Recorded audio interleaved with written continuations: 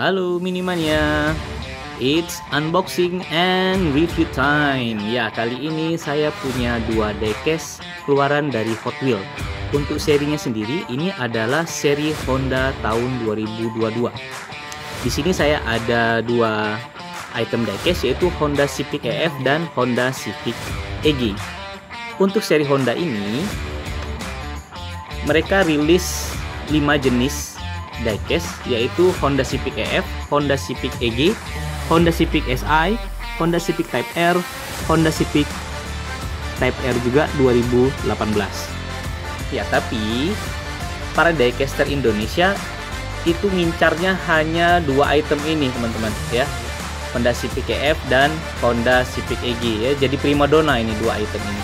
Dan kebetulan kemarin saya hunting, nah saya juga penasaran nih kenapa ini uh, item ini menjadi incaran para diecaster di Indonesia.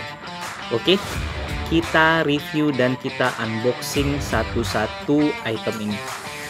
Untuk pertama kita mulai dari Honda Civic E ya. Kita buka ya yang ini kita singkirkan dulu. Kebetulan ini saya nggak dobrak seperti biasa ya untuk unit ini saya coba uh, dobrak dari samping. Karena nanti uh, item ini nanti saya mau masukkan lagi ke dalam blisternya. Karena saya belum punya rak ya untuk uh, Hot Wheel. Jadi modelnya seperti ini. Nah, nanti bisa saya masukkan lagi nih ke dalam blisternya. Ya. Oke. okay. Oke, ini dia penampakannya teman-teman ya. Penampakannya Honda Civic EF ya. Iya. Kita bahas dari samping ya.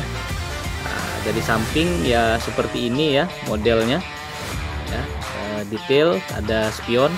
Warnanya warna abu-abu ya, abu-abu ada glitter-glitter seperti itu. Kemudian di samping ini ada tulisan DOHC VTEC DOHC VTEC ada garis merah terus juga ini ada handle pintu. Uh, ini apa? Tempat pengisian bahan bakar kali ya. Nah kemudian spionnya juga ada ini untuk seri ini. Spionnya juga ada. Ya spionnya kecil. Oke. Nah, dia menyatu dengan bodinya spionnya. Menyatu dengan bodinya. Seperti itu. Di bagian samping juga sama ya. Nah, minusnya tidak ada tempat pengisian bahan bakar seperti pada sisi di sebelahnya ya. Spionnya ada terus ada uh, tulisan ada logo Hot Wheel ini di sebelah sini ya. Bagian depan nah untuk bagian depan nah kalau biasanya uh, itu headlamp ini kadang nggak dicat oleh Hot Wheel tapi untuk seri ini uh, lampu sennya, headlampnya itu dicat dengan baik oleh Hot Wheels dan juga ada logo Honda ya di tengah dari cupnya ya. Bagian atas nah, bisa teman-teman lihat ada sunroofnya di sini. Interiornya sendiri itu warnanya merah, ya warnanya merah. Di bagian belakang nah, seperti ini juga lampu-lampunya logo Civic dicetak dengan baik, diwarnai dan dicat ya dicat ya oleh Hot Wheel ya detail yang ini. Kemudian ada knalpotnya. Nah, kalau untuk bodinya ini terbuat dari metal kalau base nya terbuat dari plastik ya. Untuk roda rodanya juga plastik. Ini bukan ban karet ya bannya ban biasa. Tapi untuk jenis model rodanya ini kurang asik ya terlalu biasa ya kalau untuk yang Honda seri Civic EF ini ya kurang pas ya. Mungkin kalau diganti sama ban karet mungkin uh, tampilannya bisa lebih mendongkrak ya. Ya seperti ini.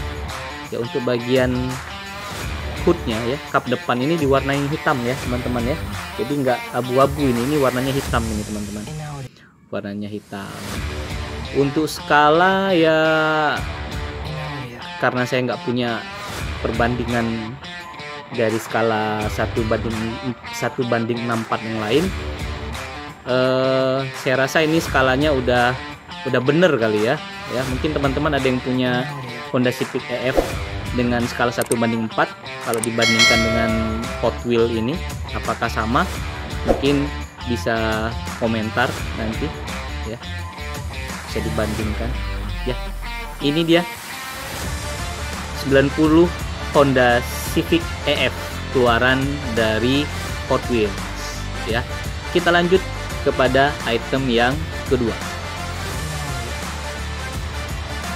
Ya ini dia item yang kedua ini uh, Honda Civic EG nah, ini juga banyak diincar ini karena banyak yang suka warna birunya nih. Ya kita buka ya kita unboxing ya. Sama saya unboxingnya seperti tadi. Saya pakai kayak cutter ya dari samping dibelah ya. Karena nanti uh, dekesnya mau mau saya masukin lagi ke dalam blister. Nah, saya nggak punya rak soalnya. Oke. Oke ini dia teman-teman. Uh saya suka hijaunya hijaunya keren ya. Hijaunya keren ya. Kita bahas dari samping ya teman-teman ya untuk warnanya warnanya ini warna biru kehijauan ya atau hijau kebiruan ya. Ini warnanya asik ini warnanya asik. Kemudian ada handle pintunya dicetak di sini. Kelihatan ini teman-teman ya.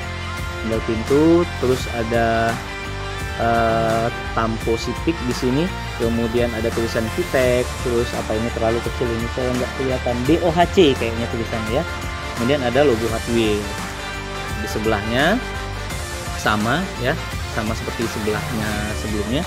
Cuman ada tambahan di sini eh, tempat pengisian bahan bakar ya. Dan untuk spionnya spionnya ada cuman nggak ada kacanya ini teman-teman. Ini nyatu dengan bodi ya. Nyatu dengan bodi bagian depan nah, bagian depan detail ya. Ada lampunya ditotol dengan cat kemudian untuk hoodnya untuk mesinnya ini warna hitam sama seperti uh, Honda Civic EF tadi ya. Interiornya warnanya hitam ya. Hitam. Terus ini juga ada sunroofnya. Pada bagian belakang. Uh, juga ada lampu belakangnya juga dicat dengan baik dan logo Honda ya, ada di tengah ini. Ini ada tambahan spoiler spoiler kecil tapi ya lucu ya. Spoilernya. Ada knalpot ya. Lumayan ya. kemudian untuk velg untuk bannya sendiri ini kayaknya lebih lebih bagus ya modelnya dibandingkan dengan yang sebelumnya tadi ya dibandingkan dengan Honda Civic EF tadi yang EG ini uh, rodanya lebih bagus ya warna putih ya. matching sekali dengan uh, mobilnya ya untuk base nya ini plastik ya karena dia reguler ya, jadi base nya plastik. Kalau premium Hot Wheel itu biasanya base nya itu adalah besi. Nah, seperti ini teman-teman ya. Ya lumayan. Dengan harga gantungan mendapatkan detail yang seperti ini ya. Lumayan wajar nih jadi rebutan para daycaster di Indonesia. Oke ini tadi yang Honda Civic itu nah gimana teman-teman?